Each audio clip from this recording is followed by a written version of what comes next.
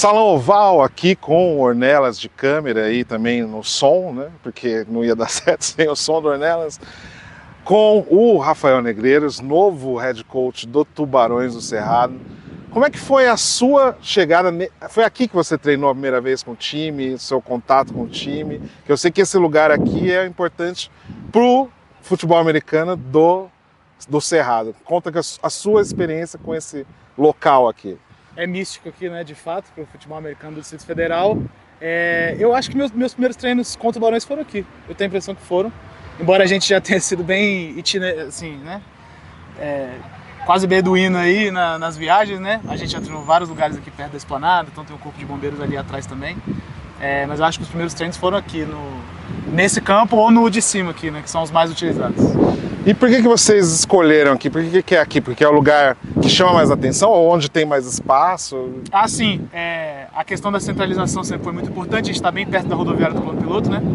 E desde sempre acho que o Tubarões é meio reconhecido por isso, assim. Sei, sei lá, se eu falar que sou de um time de futebol americano, o pessoal fala assim, ah, você é do Tubarões, que treina na esplanada? E assim, a gente já não treina na esplanada já tem uns anos. Mas, Mas ficou galera, isso, né? É, ficou esse imaginário aí, né, de que o Tubarões de fato é o time da esplanada, embora outros já tenham treinado também. Mas desde a criação do time, acho que aqui é um lugar é um lugar recorrente de voltas quando são necessárias. E de quando você começou a treinar, você imaginou que ia ser o técnico principal do Tubarões do Cerrado? Ah, não. Não. Eu achei que eu poderia ser head coach em algum outro time. É... Mas você, quando você começou, você já tinha isso na cabeça de querer ser técnico? Cara, eu sempre, eu sempre pensei em evoluir em tudo que eu fiz, né?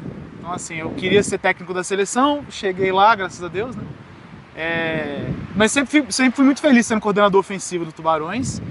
Mas uma hora eu sabia que eu ia querer ser head coach em algum time. Eu tinha, eu já tive propostas e tal, mas assim, podendo fazer mas isso fora em casa, daqui. fora daqui. É. Podendo fazer isso em casa é muito melhor. Eu já tive aqui também no Distrito Federal, mas eu não aceitei. Então agora, graças a Deus, eu podia Quem deverá ter sido? É o, né? Mas enfim. E, mas acho que todo mundo mesmo a gente de fora tinha isso na cabeça que uma hora isso ia chegar, né?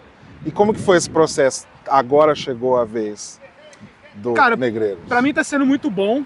É, sim, no momento minha cabeça tem muitas ideias e eu preciso organizá-las sobre como eu vou fazer algumas coisas no time e tal.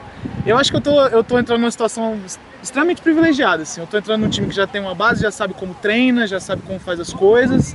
É, eu fui mentorado pelo coach Fabrício, que é um cara que, pô, muito do que eu sei de futebol americano ele que me ensinou, né?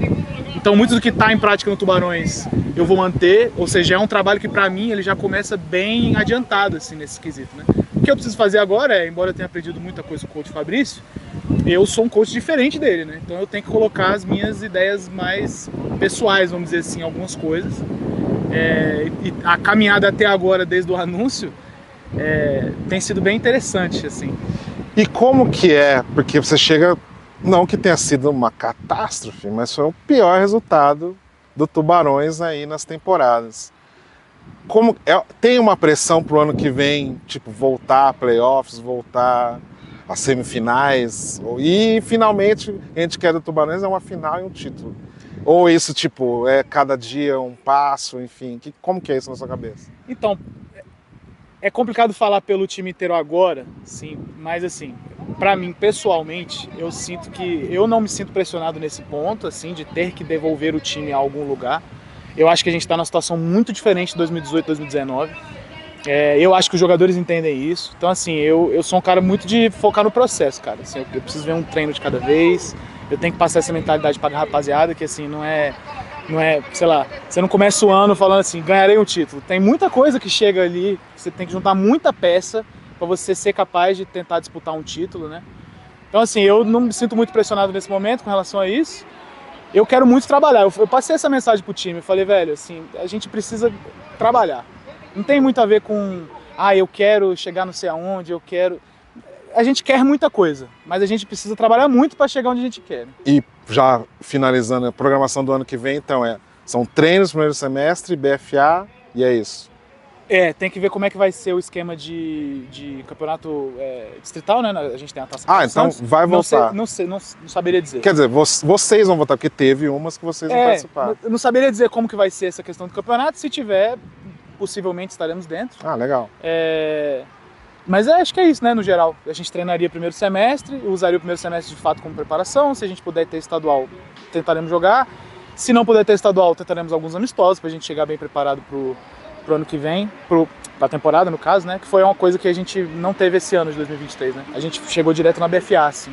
Talvez ter uma preparaçãozinha, arrumar um amistoso aqui, um amistoso ali, seja ideal, embora a gente entenda que ah, pelas condições dos times, inclusive do nosso, né, não seja possível assim a gente ficar gastando dinheiro com o jogo que não é oficial.